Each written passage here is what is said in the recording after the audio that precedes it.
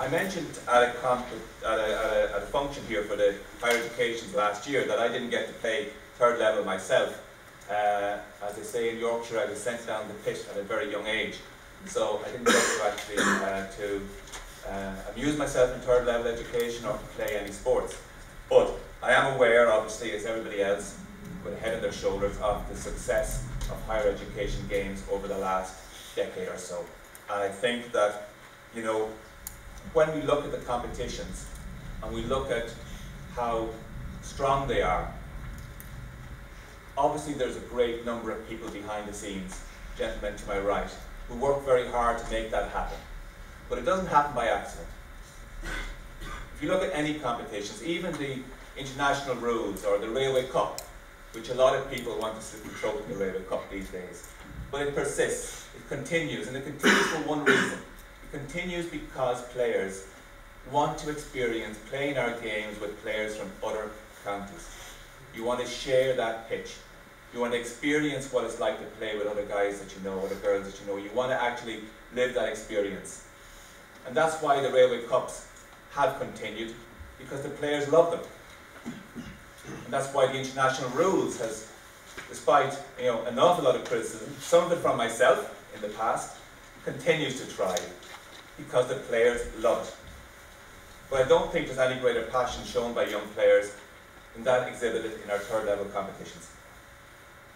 At your age, it's your time of development as footballers and hurlers to get the opportunity of sharing a pitch with other lads from other counties who have great futures in front of them. It's a unique opportunity, not just to thrive in that environment, but to learn other things and to make friends.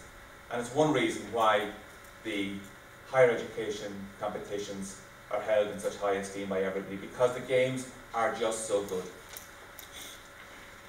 The goodness in the games, I also think, has been reflected in the development of Gaelic football and hurling over the last decade.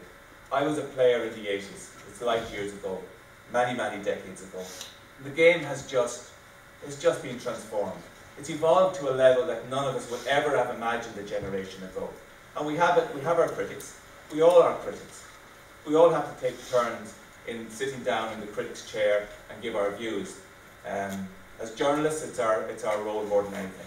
But when you look at the development of Gaelic football in particular, you look at the manner in which the Ulster teams came through in Tyrone and Armagh, and you look more recently at Donegal, the magnificence in which Jim McGuinness built a team and brought it to Croke Park, what they achieved. You look at Dublin this year, and the youthful manner in which they just stormed, absolutely stormed the stadium this year. None of that has happened by accident. It's happened because there are young players coming through the ranks in every county who are more ambitious, who are more intelligent, and who care to be better footballers at a younger age, better hurlers at a younger age than any group of footballers or hurlers in any other generation. So it's a credit to you all, and it's because of the players in higher education competitions that our games are thriving at every other level. So thank you for that.